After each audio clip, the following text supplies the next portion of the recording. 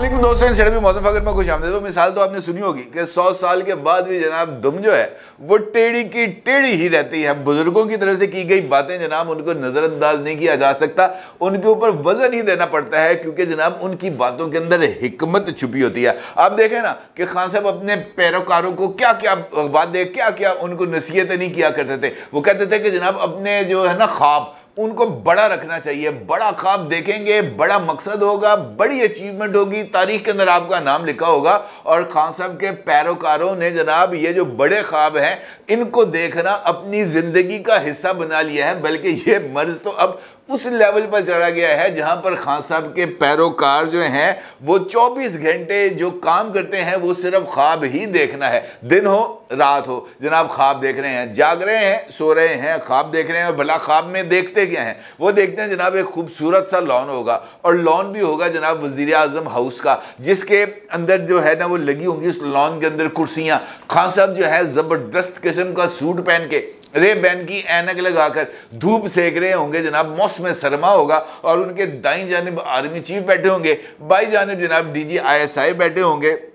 और खान साहब वहाँ पर हंस हंस के उनके साथ गप्पे लगा रहे होंगे, अपनी अजमत के किस्से बता रहे होंगे, उनको समझा रहे होंगे कि दुनिया ऐसे नहीं है, दुनिया ऐसे है, दुनिया के मामला ऐसे नहीं चलते, दुनिया के मामला ऐसे चलते हैं। और वो आगे से यस्सर यस्सर कह रहे होंगे। और इसी दौरान जो है खान साहब मुख्तफ अहकाम भी दे रहे होंगे कि नवाज़ शरीफ की बाम मरोड़ दो जो है आसिफ अली जरदारी उसके कान को मरोड़ दो जो बिलावल भुटो जरदारी है, उसका जो है ना वो गाड़ी पंक्चर कर दो। इस तरह के अहकाम दे रहे होंगे और वो जनाब फौरी तौर पर उन अहकाम की, जो है वो तमील हो रही होगी, यानी सेम पेज होगा। और इसका मतलब यह है कि खान साहब को जो है ना, वो मौजे मौजे नज़र आ रही होंगी, लेकिन क्या ऐसा हकीकत में हो सकता है? ये जो ख्वाब देखने की बीमारी है, ये जो ख्वाब हैं, क्या इन ख्वाबों की हकीकत वही हो सकती है जो इन ख्वाब देखने वालों को नज़र आ रही है? क्या पाकिस्तान तहरीक इंसाफ की जो लीडरशिप है, जो बार बार ख्वाब देख रही है, और गुज्त चौबीस घंटे के दौरान कम अज़ कम तीन ऐसे लीडर्स सामने आए हैं जिन्होंने एक जैसा ही ख्वाब देखा है और क्या वो ख्वाब मबनी बर हकीकत होने जा रहे हैं? इस सारी सूरत हाल पर आपके साथ बात करना बहुत ही ज़्यादा ज़रूरी है। कल सबसे पहले सैनट का इजलास हो रहा था और सैनट के इजलास में धुआंधार तकारीर हो रही थी और इस तकारीर के दौरान जनाब शिबली फराज साहब, जो हुक्मरान इतिहाद के इस वक्त शदीद तरीन मुखालफ हैं और वो सैनट ऑफ़ पाकिस्तान के अंदर लीडर ऑफ़ द अपोजिशन की कुर्सी संभाले हुए हैं, वो लीडर ऑफ़ द अपोजिशन की कुर्सी के ऊपर खड़े होते हैं और खड़े होकर हुकूमत की जानब से दी जाने वाली मुजाकरात की पेशकश का ये जवाब देते हैं कि जनाब, हम मुजाकरात के लिए तैयार हैं, चाहे वो हुकूमत है, चाहे वो इस्टेब्लिशमेंट है। लेकिन मुजाकरात से पहले जनाब, तमाम मुकदमे वापस होंगे, तमाम कैदी रहा होंगे, इमरान खान के ऊपर मुकदमा ख़त्म होंगे, इमरान खान जेल से रिहा होंगे, बुशरा बीबी के खिलाफ मुकदमा ख़त्म होंगे, बुशरा बीबी जेल वो जो है रिहा होंगी और आठ फरवरी को जो इंतबात हुए हैं, उन आठ फरवरी के इंतबात पर पाकिस्तान तरीके की से जिन नशस्तों का दावा किया गया है, वो नशस्तें पाकिस्तान तरीके इंसाफ को मिलेंगी, तभी हुकूमत के साथ मुजाकर होंगे। इसका मतलब यह है कि शिबली फराज साहब ने मुजाकर के लिए जो चार्टर ऑफ़ डिमांड है, वो पेश कर दिया। लेकिन चार्टर ऑफ़ डिमांड जो है, वो गैर हकीकी होने के साथ साथ उसके अंदर एक दरख्वास्त थी। और वो दरख्वास्त ये थी कि अगर इस्टेब्लिशमेंट हमारे साथ बात करने के लिए तैयार होगी तो हम ये जो मुतालबात हमने पेश किए हैं, हम इन मुतालबात से पीछे हट जाएँगे। शाम होती है। शाम में जनाब शहरियार अफरीदी साहब मंजर आम पर आते हैं और शहरियार अफरीदी साहब नया पाकिस्तान टॉक शो के अंदर आप जो है इजहार ख्याल फरमाते हैं और इसके अंदर वो इस बात का ज़िक्र कर देते हैं कि जनाब जो मर्ज़ी हो जाए, सिर्फ़ आर्मी चीफ और D G I S I के साथ ही मुजाकर चाहते हैं और उनका ये कहना था कि जब एंकर ने उनसे पूछा कि जनाब आप ये हुकूमत के साथ बातचीत क्यों नहीं करते तो उनका ये कहना था कि ये तो खुद मोहताज हैं। इनको रिमोट कंट्रोल से जो है वो चलाया जा रहा है। लिहाजा बेहतर ये है कि चीफ ऑफ़ आर्मी स्टाफ और D G I S I ये दो ही शख्सियात हैं जो पाकिस्तान तरीके इंसाफ के जो रिजर्वेशन है, इनको दूर कर सकते हैं। अब ये जो बात है, अचानक पाकिस्तान तरीके इंसाफ की तरफ़ से जो सामने आना है, इसका मतलब ये है कि इसके पीछे कुछ ना कुछ महरक़ात हैं। और इसमें ज़रा जो है ना, इस पर ज़रा तहकीक़ात की तो पता ये चला कि हालिया दिनों के अंदर एक मुलाकात हुई। एक मुलाकात हुई है और वो मुलाकात पिशावर में हुई है। लिहाजा उस मुलाकात के जो है ना, मुलाकात के होने पर ये जो इतना हंगामा है, ये इस वजह से मच गया कि पाकिस्तान तरीके इंसाफ के दोस्तों को शायद इस बात का गुमान हो गया कि जनाब, पिशावर में जो मुलाकात हुई है, उस मुलाकात के बाद जो इस्टेब्लिशमेंट है, वो इमरान खान साहब ने जो जेल के अंदर बयान दिए थे, उन बयान का प्रेशर ले लिया उन्होंने और उस प्रेशर के नतीजे में ये जो दूसरी मुलाकात है, ये हुई है। अब पहले आपको पता मुलाकात हुई थी खैबर पख्तूनखा के चीफ मिनिस्टर जनाब अली अमीन गंडापुर साहब की। अली अमीन गंडापुर साहब को कोर कमांडर पिशावर की तरफ़ से दावत मिली थी और वो उसके ऊपर अफतारी के लिए अपनी पूरी काबीना को लेकर वो कोर कमांडर हाउस पिशावर चले गए थे और वहाँ पर उनके साथ जो है वो तबादला ख्याल भी हुआ था। और वहाँ पर उन्होंने बैठकर अफतारी की थी और इसको आइस बेल्टिंग करार दिया गया था हुकूमत की तरफ़ से भी और जो पाकिस्तान तरीके इंसाफ है उसकी तरफ़ से भी कि जनाब ये पहली मरतबा एक तवील अरसे के बाद इंटरेक्शन हुआ है पाकिस्तान तरीके इंसाफ का मिलिट्री लीडरशिप के साथ। और फिर इस बात की तो भी की गई थी कि जनाब अब ये जो है ना टेम्परेचर ये कम होगा। फिर इसके बाद अगले मरहले पर जनाब वज़ीर दाखिला, मोहसन नकवी साहब पेशावर के दौरे पर जाते हैं और वो वहाँ पर जाकर अली अमीन गंडापुर साहब के साथ मुलाकात करते हैं, जिस पर इस बात का फिर दोबारा तस्करा होता है कि जनाब इस्टेब्लिशमेंट अपने जो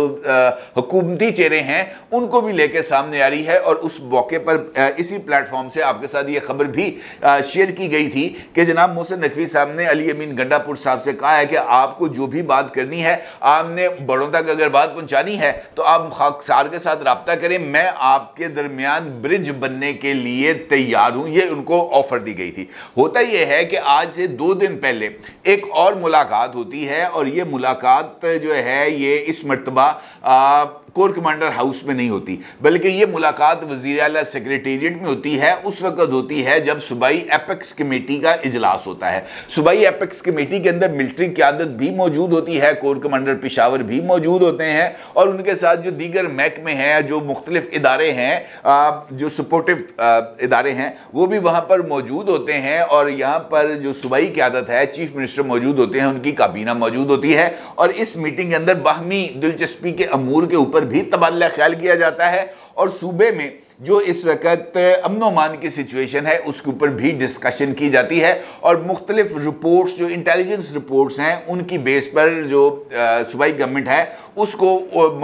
जो सूबे की सूरत हाल है और वहाँ पर जो दीगर मामला चल रहे हैं, उसके ऊपर तबादला ख्याल किया जाता है। यहाँ पर एक इंपॉर्टेंट पेशरफ होती है। पेशरफ ये होती है कि अली अमीन गंडापुर साहब, जो कि चीफ मिनिस्टर हैं, वो जब उनको तालिबान की कार्रवाइयों के हवाले से ब्रीफिंग दी जा रही थी तो उन्होंने कोर कमांडर पिशावर को मुखातब किया और ये कहा कि जनाब, ये जो तालिबान के भत्ते के हवाले से आप बात कर रहे हैं, ये बात बिल्कुल दुरुस्त है। उन्होंने कहा, जनाब, क्या मतलब ये, आप कैसे कह रहे हैं ये बात? तो जनाब अली अमीन गंडापुर साहब ने इस बात का चीफ मिनिस्टर होते हुए इस बात का इंकशाफ भी किया और एतराफ़ भी किया। उन्होंने कहा, जनाब, आपको पता है कि मेरा भी जिम्मेदार है डेटा इसमाइल खान के अंदर मेरा अबाई जो मामला हैं, वो वहीं पे चलते हैं। ये बात आपकी दुरुस्त है कि हमने अभी जो गंदम बीजी थी, उस गंदम को काटने के लिए मैंने बतौर चीफ मिनिस्टर होते हुए भी भत्ता दिया है, जिसके ऊपर जनाब वो सारे चौंक के रह गए कि जनाब ये चीफ मिनिस्टर साहब किस तरह की गुफ्तु कर रहे हैं,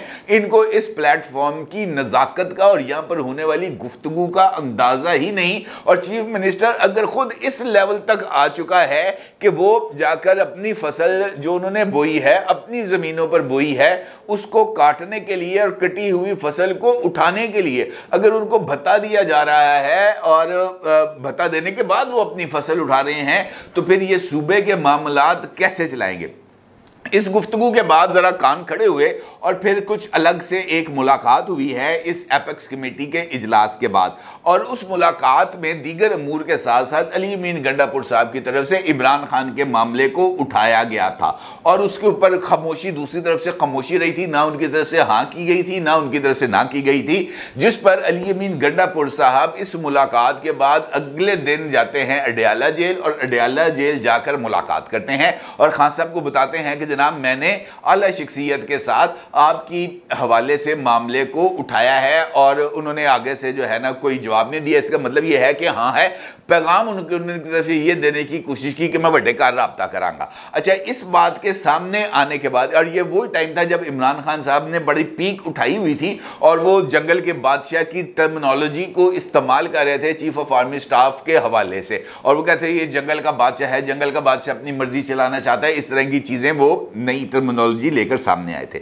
अच्छा इसके बाद जो है, वो खान साहब ने जंगल के बादशाह के हवाले से गुफ्तु ज़रा थोड़ी सी कम कर दी, लेकिन उसके बाद से ही ये जो मुख्तलिफ़ पाकिस्तान तरीके इंसाफ की लीडरशिप है, उनकी तरफ़ से ये गुफ्तु का आगाज़ शुरू हो गया कि जनाब बात करेंगे इस्टेबलिशमेंट से होगी, हुकूमत के साथ, हुकूमत की वैल्यू कोई नहीं है, हुकूमत रिमोट कंट्रोल से चल रही है, इनसे बातचीत करने का क्या फ़ायदा, वगैरह वगैरह वगैरह, इस तरह की चीज़ें शुरू हुई। अब बात यह है कि इस्टेब्लिशमेंट जो है वो इमरान खान साहब के साथ किसी भी सूरत बात करने के लिए तैयार नहीं है। और ये पैगाम भी और ये ऐलान भी मोर देन वंस दिया जा चुका है कि जनाब किसी तरह की कोई बात नहीं होगी। बल्कि जब खुद तहरीक इंसाफ के जनाब आरिफ अलवी साहब प्रेसिडेंट थे, उस वक्त उन्होंने चीफ ऑफ़ आर्मी स्टाफ से कहा था कि मैं आपकी इमरान खान साहब से बात कराना चाहता हूँ, आप उनसे बात करें। तो उस वक्त उनको ये बात कही गई थी कि जनाब वजी साहब जो हैं, वो वजी हाउस में बैठे हैं। जो, जिसने जो भी बात करनी है, जो भी मुलाकात करनी है, वो जाकर वज़ीर आज़म से करे हमारे साथ इसका कोई लेना देना नहीं है। अब ये बात वाजे है कि इस मरतबा भी और इस वक्त भी इस्टेब्लिशमेंट इसी एक मौकफ पर कायम है कि जनाब बात करनी है तो हुकूमत के साथ बात की जाए। हम किसी भी तरीके से बातचीत के अंदर हिस्सा बनने के लिए तैयार नहीं है। अलबत्